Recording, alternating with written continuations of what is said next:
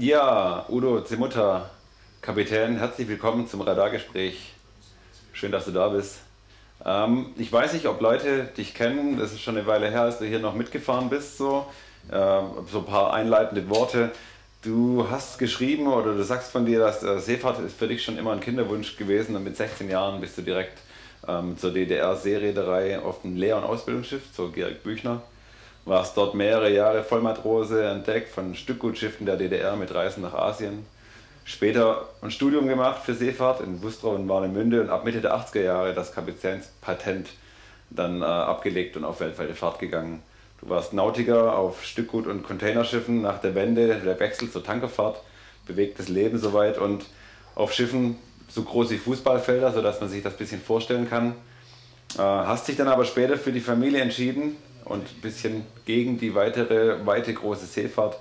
Und es kam irgendwie ein Kontakt zur Stubnitz zustande, deswegen bist du auch heute hier. Du konntest deinen Beruf weiter als Hobby ausleben und äh, Einblicke in kulturelle Bereiche gewinnen, die du vorher vielleicht noch nicht so äh, kanntest. So.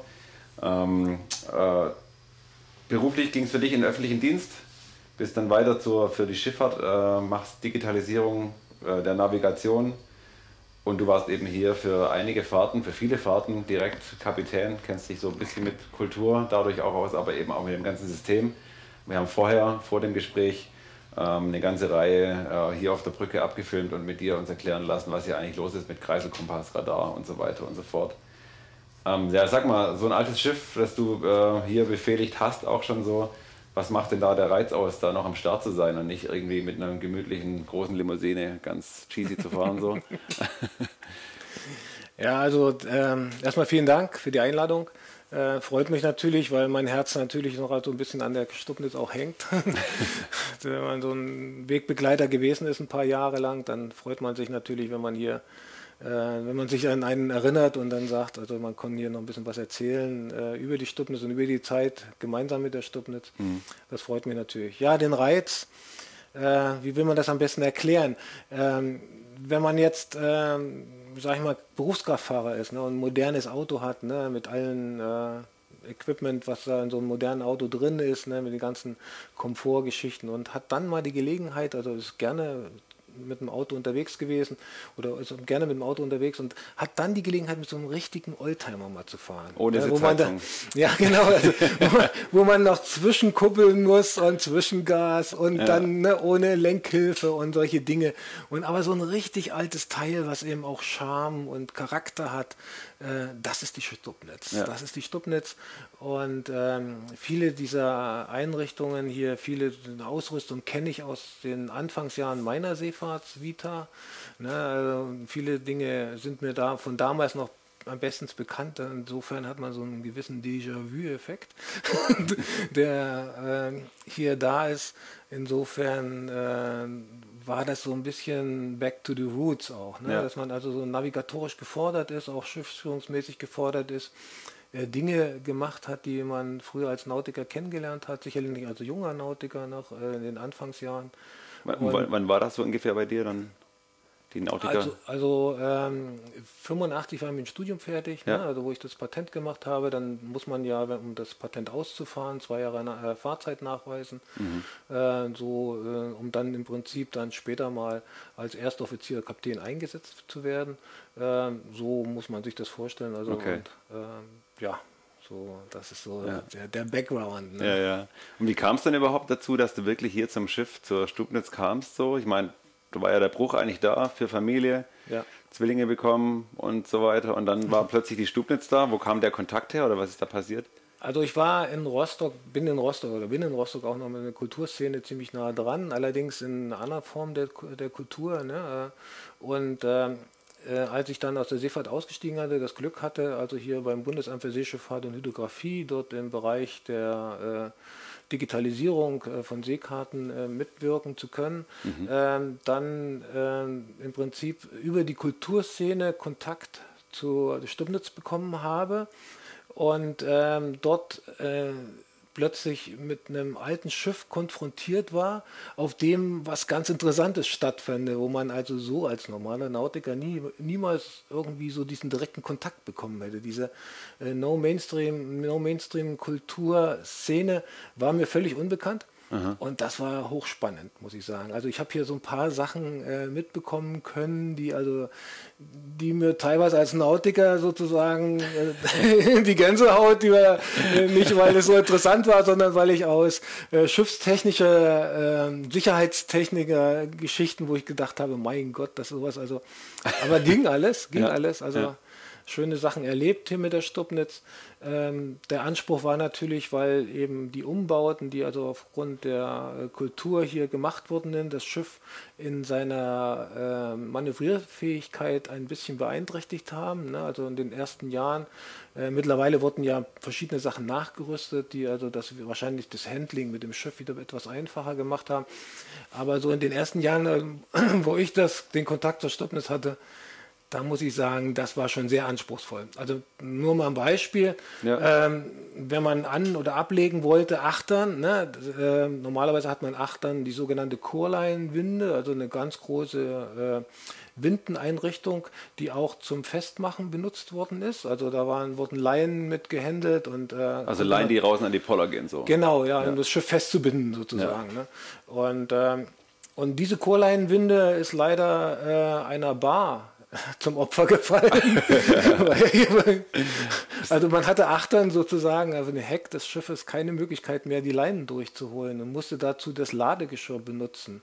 Ne, das war also mit vielen Umlenkrollen und sehr, sehr, also wirklich eine sehr tricky Geschichte, also da, äh, wo man sagen muss, um das Schiff, man hat dann eben versucht mit, äh, mit navigatorischen Sachen, also gegenzuarbeiten, die Hauptmaschine dafür zu verwenden, in die, äh, in die Vorspringen, also in die Querleine äh, die nach vorne gebracht und ja. hineinzufahren, um das Schiff dann mit dem Heck heranzuholen und dann gegenzudrücken und dann wurde er per Hand durchgeholt. Und also, Auch ja, eine aufwendige Geschichte so, ne? Ja, ja, also wirklich tricky. Also so ja. old-fashioned Style. Ne? Heutzutage, die großen Schiffe, die haben, die sind also bestens ausgerüstet für, äh, für äh, Manövrierfähigkeit. Die haben sogenannte Querstrahlruder. Das sind also, ähm, das sind also Propeller, die also quer zur Schiffsrichtung eingebaut sind, die das Schiff an die Pier drücken drücken und wo man das Schiff auf der, auf der Stelle drehen kann und mhm.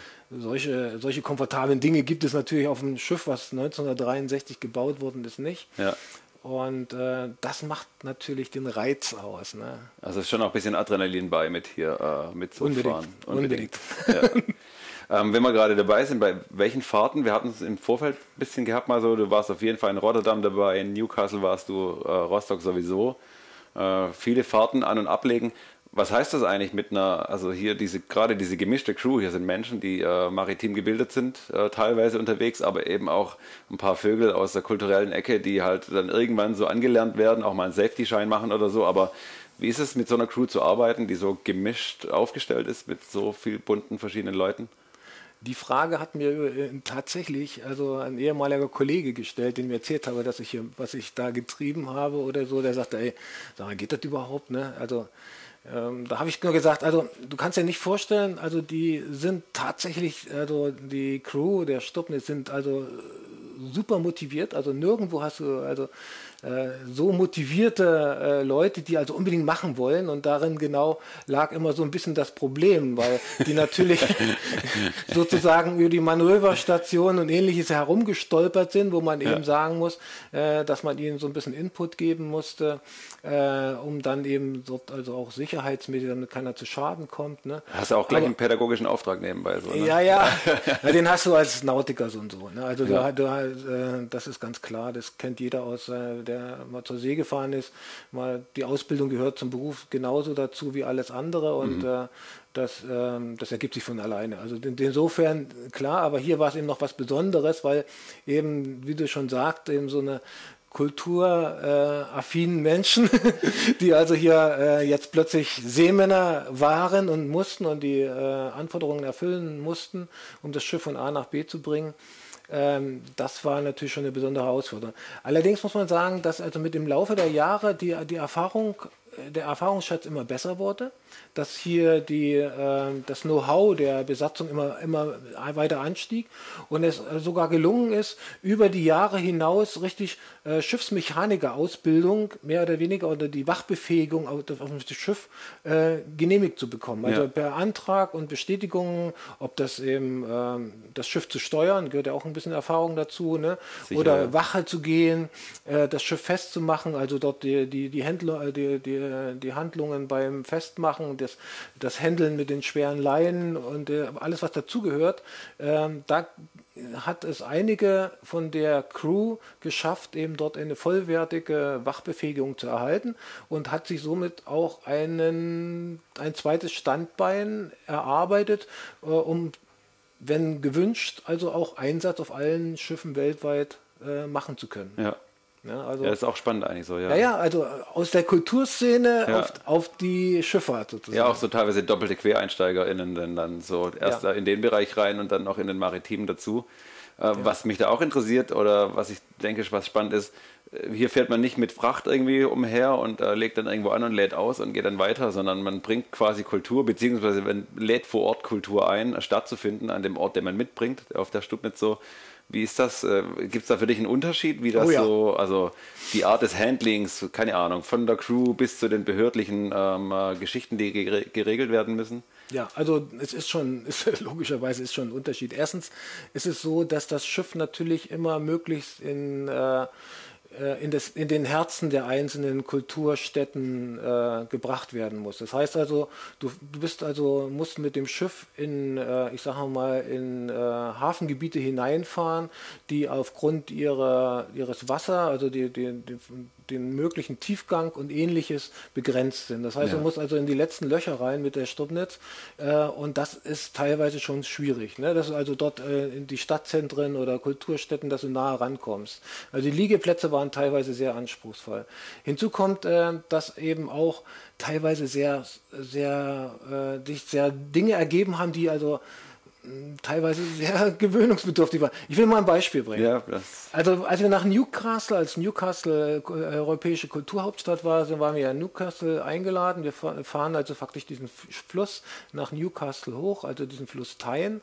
Und in Newcastle gibt es eine spezielle Brücke, man nennt dieses Millennium Eye. Vielleicht schon mal von gehört. Das ist also faktisch eine Brücke, die öffnet sich wie so ein Augenlid. Mhm. Ne? Also, Für die Durchfahrt des Schiffes. Ja, ja, genau, weil wir wollten ja genau sozusagen zum Stadtzentrum. Ja, ja. Ne? Gegenüber diesem Kulturzentrum, was dort existierte. Also die haben ja sehr aufwendige Oper, ganz modern und ist egal.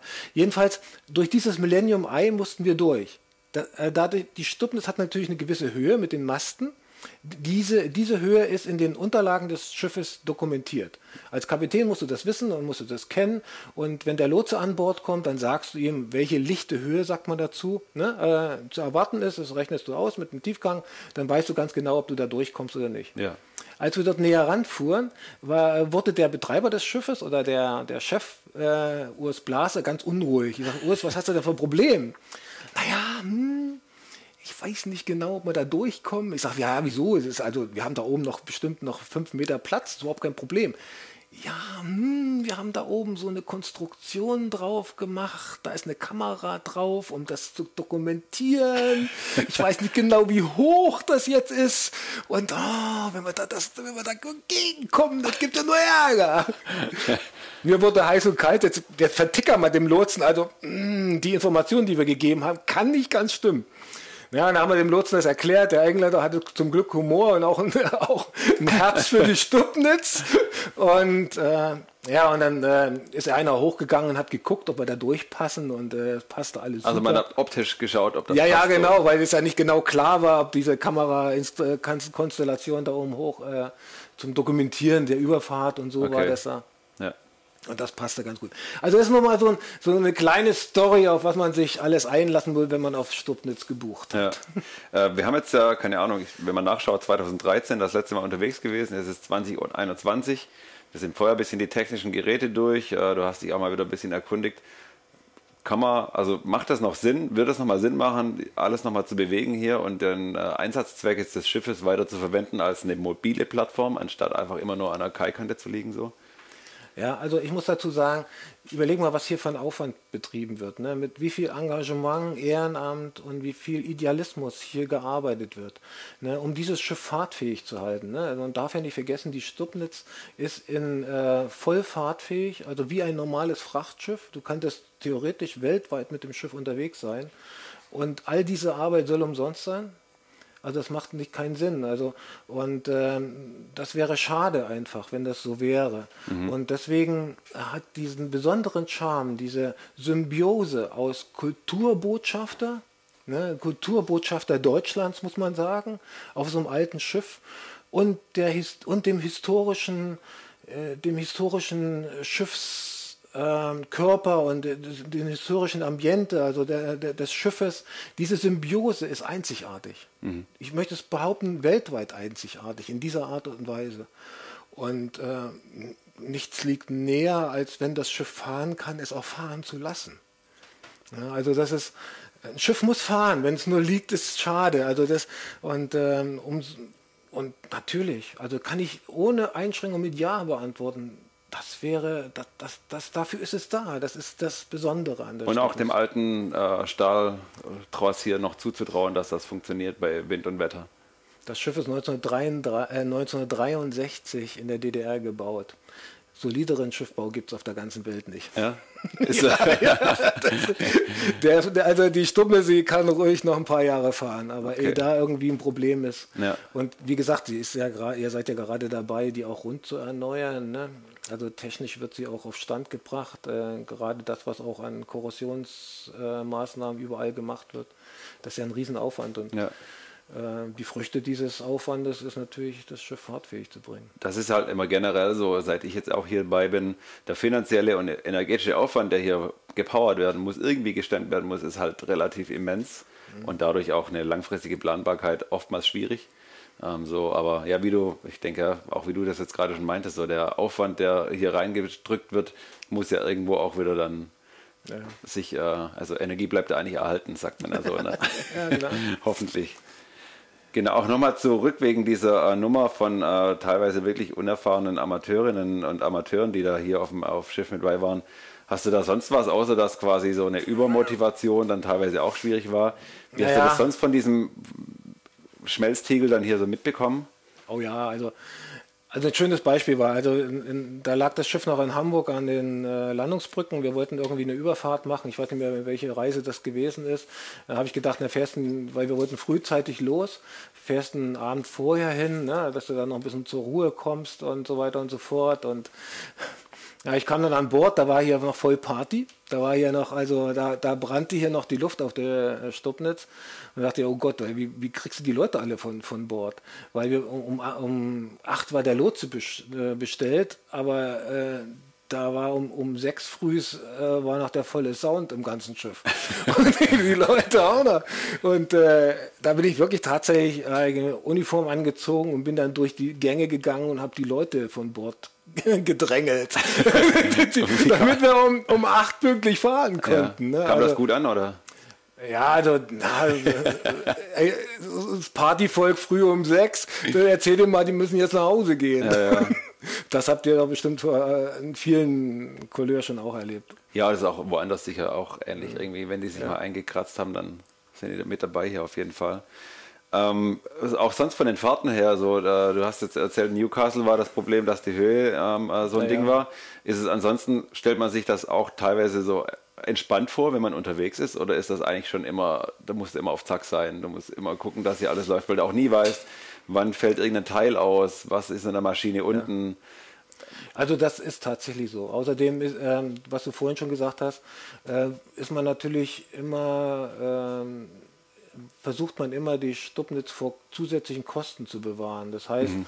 ne, dass äh, man versucht, ohne Lotsen zu fahren, ne, also in den Möglichkeiten, die man hatte, ne, äh, dass man dann äh, alle Möglichkeiten ausreizt, dass man eben versucht, ohne Schlepper loszulegen, weil ein Schlepper ne, 2000, 3000 US-Dollar oder äh, 2.000, 3.000 Euro ist überhaupt kein kein Kostenfaktor in der Schifffahrt. Ne? Ja. Ne? Also das ist, aber für die Stubnitz ist es eben echtes, echte Belastung, solche Kosten.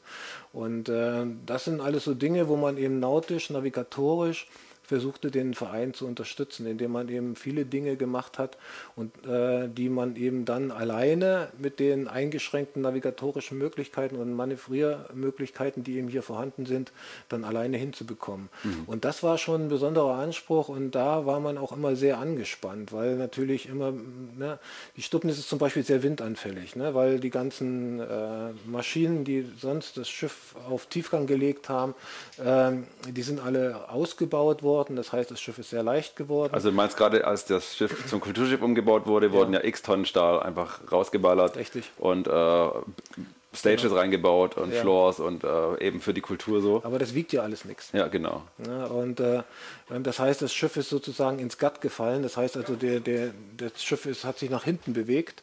Ne, und hinten sind im Viertel, vorne hat es drei Meter äh, Tiefgang und hinten 5,50 Meter oder so oder mhm. sechs Meter.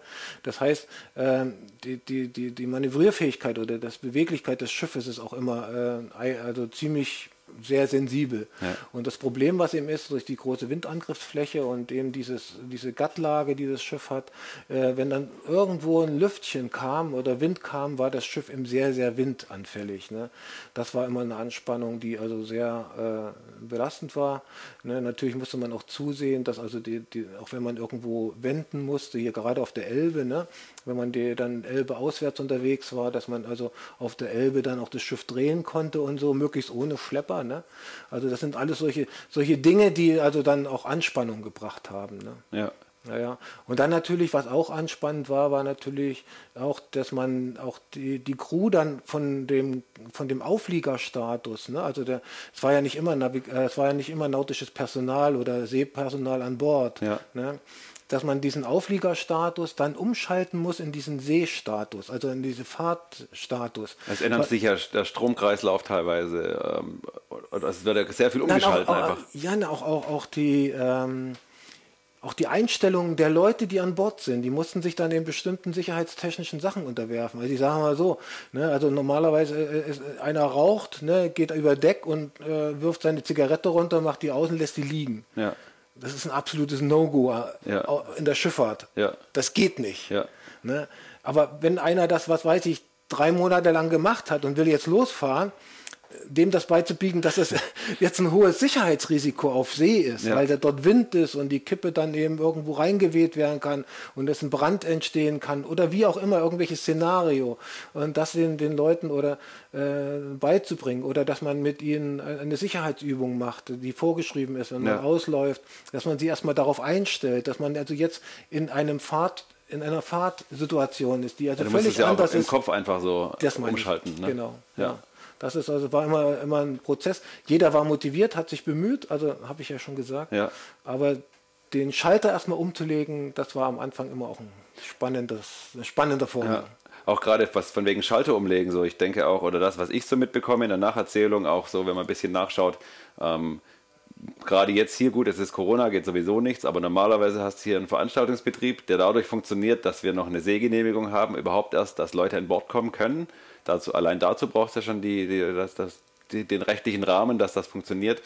Und wenn ich mir dann vorstelle, auch äh, Hafenstädte, irgendwie, keine Ahnung, Kopenhagen, Amsterdam, wo auch immer, die dann gar nicht wissen, wer kommt da, was ist das für ein Ding, was machen die denn da, äh, dass man dann auch wo anlegen kann, wo jetzt nicht irgendwelche Sicherheitszonen von, wie zum Beispiel hier von der HPA auch gibt, und dort erklären, mit den Behörden alles zu regeln, dass man dort ankommen kann.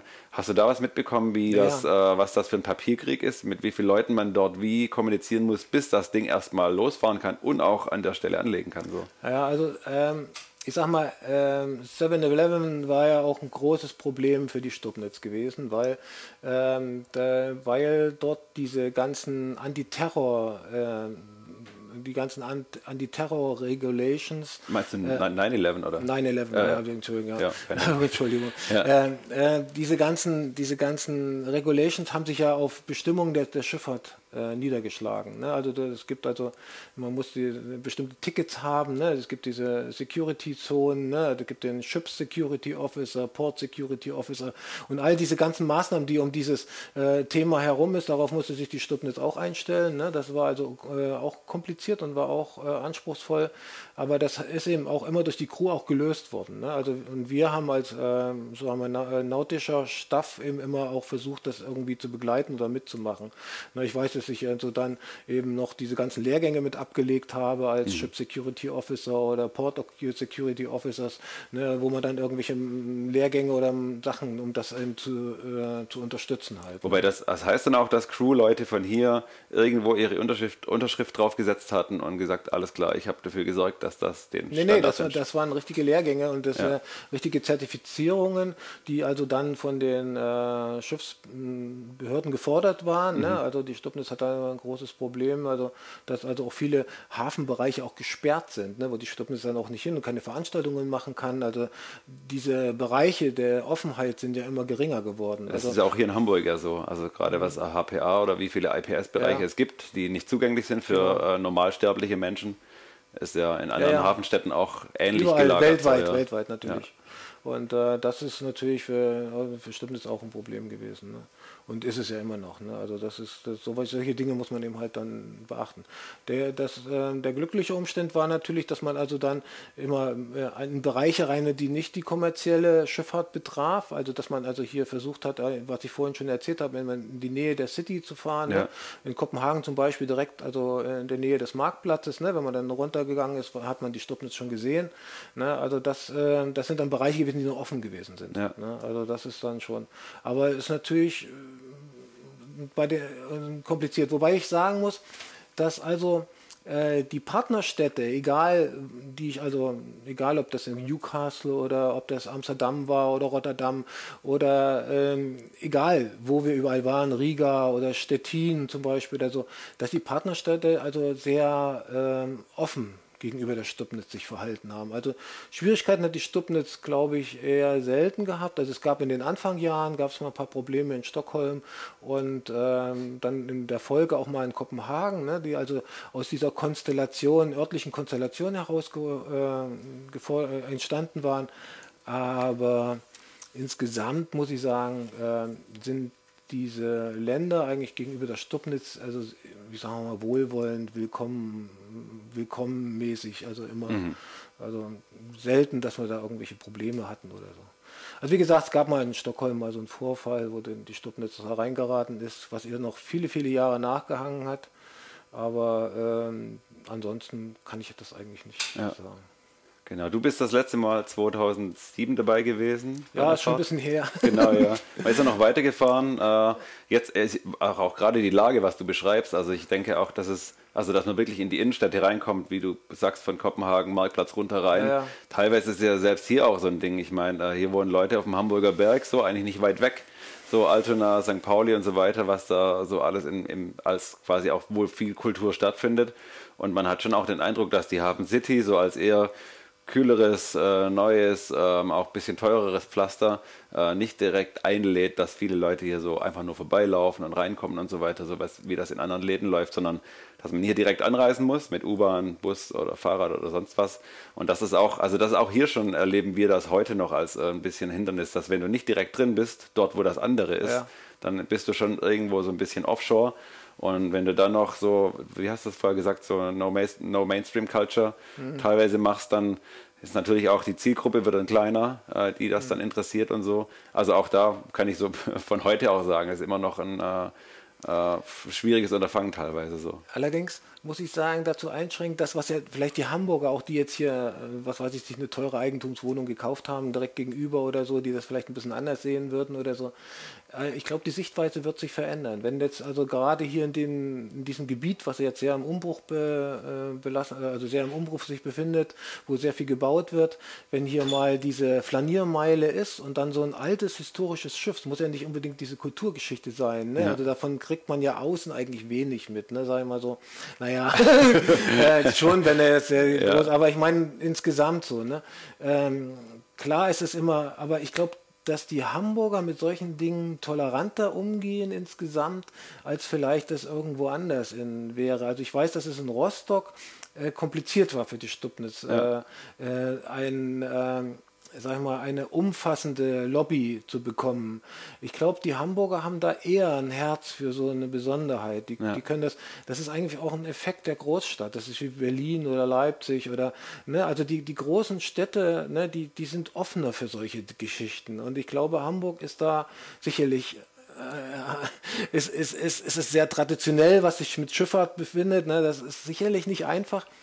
Aber ich glaube, ich weiß es nicht genau, aber aus dem Bauch heraus würde ich sagen, wenn man dann noch ein paar Jahre weiter denkt, dann in, in, diesem Kontext, dieses hypermoderne Baugebiet und dieses alte Schiff und dann vielleicht noch eine schöne Flaniermeile da, so ähnlich wie bei, und, ja, keine Ahnung, ja, ja, wer weiß, wer weiß, weiß, wer ja. hier noch auch so hingelegt wird. Vielleicht liegt dann, was weiß ich, der, im, dahinter kommt dann vielleicht noch großes Segelschiff, äh, historisches, was dann, ne, keine Ahnung. Ja. Äh, ne? Also was dann auch hier noch sozusagen die Skyline verbessert und da würde sich die Stubnitz dann ganz anders einordnen. Aber jetzt liegt der ja hier alleine mehr oder weniger. Ne? Die ganze Museumsgeschichte, die findet woanders statt. Ja. Ne? Also insofern ist es, äh, ist es jetzt so noch ein bisschen, seid ihr noch ein bisschen anders. Aber ich glaube, also mit ein bisschen Glück oder so wird sich das ändern können. Ne? Und allgemein, wenn ich dich richtig verstanden habe, sagst du schon auch so, also hier diese Sache von Cultural Transport, äh, was wir hier betrieben hat, siehst du immer noch als ein zukunftstaugliches, ähm, ähm als eine zukunftstaugliche Möglichkeit, die wir hier mit dem alten 63er Schiff machen kann. So. Ja, ja, ne, also ja. es wäre einfach schade, diese Besonderheit, die die Stubnitz darstellt, ne, äh, jetzt einfach nur hier lokal zu belassen, wenn man die Möglichkeit hat, sie als Kulturbotschafter hinauszubringen. Ja. Das ist natürlich mit einem Riesenaufwand. Jeder, der mit der Schifffahrt verbunden ist, der weiß, so ein Schiff, was so ewig wiegt, das ist erstmal sehr, sehr teuer. Ne, und jeder weiß, was da zu, äh, was dazugehört, so ein Schiff in Fahrt zu bringen. Ne? Das ist sehr aufwendig und äh, es wird auch nicht jeden verständlich sein, diesen Riesenaufwand zu machen, genau, um, ja. um, um, Kultur zu transportieren. Und auch welche sagt, Kulturen, was machst du denn da genau, so, also ja. lass das Schiff doch da liegen. Gut, ja. sei froh, dass ihr da diesen Liegeplatz gekriegt habt. Ne? Und jetzt wollt ihr auch noch fahren, also erstmal. ne? Also ähm, da muss man ehrlich sagen, also da das ist eben einfach so gut. Wenn du jetzt den Mainstream bedienst, ne, wenn wir da nochmal drauf zurückkommen, dann hast du es wahrscheinlich einfacher. Ne? Das ist äh, sowas, äh, aber wenn du eben eine Kulturnische bedienst, die eben auch speziell ist, um es mal so zu sagen, dann ist es auch schwierig. Aber ich glaube, so die Schwierigkeiten habt ihr bis jetzt ja ganz gut, oder die Stubnitz ja ganz gut bis jetzt in ihrem Live bewältigt und ähm, in der Zukunft liegt eigentlich auch eine große Chance. Ich, ich wünsche es mir sehr. Ja. Also ich würde es auch äh, der Stimme gerne mit auf den Weg geben, dass es also auch hier noch wieder Möglichkeiten gibt, eben als Kulturbotschafter. Es muss ja nicht unbedingt äh, Übersee sein, ne? aber in Europa war sie gut aufgehoben. Ja. Überall. Und man darf auch nicht vergessen, also ich habe in, in, Rostock habe ich immer mal versucht, äh, so, so mal den, den Blick zu öffnen. Ne? Ich sage, das Volkstheater in Rostock, das kennt vielleicht noch jemand in Schwerin. Vielleicht kennt es auch der eine oder andere Hamburger. Da bin ich aber schon arg im Zweifel. Ich bin schon raus quasi. ich habe keine Ahnung, aber ich komme auch im Süden. Ja. Aber die Stubnitz, die Stubnitz kennt man sogar in New York. Hm. Sagt man so, ne? Ja. ja. und das ist der Unterschied. Ja. Ja, ich denke, das war das perfekte Schlusswort für äh, dieses Gespräch. Udo Zemutter, ich danke dir, dass du heute hier warst, auch dass wir vorher die ganze Session gemacht haben äh, mit den äh, vielen nautischen Geräten hier. Ja, gerne. Und äh, ich wünsche dir alles Gute. Ich hoffe, wir sehen uns wieder. Ja, Dankeschön ne, für die Einladung. Gerne.